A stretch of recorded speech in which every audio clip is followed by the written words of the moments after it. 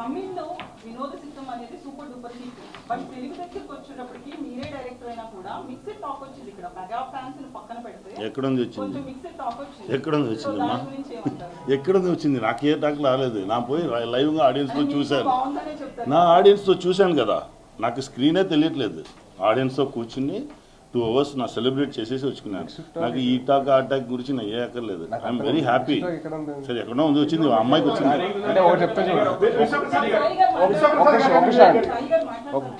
Mixed talk అనేది వాళ్ళకి వచ్చింది. ఈ రోజుల్లో లేదండి. ఉంటే సూపర్ హిట్ లేదా అటర్ ఫ్లాప్. మిక్స్డ్ టాక్ రావడం అనేది ఛాన్సే లేదు.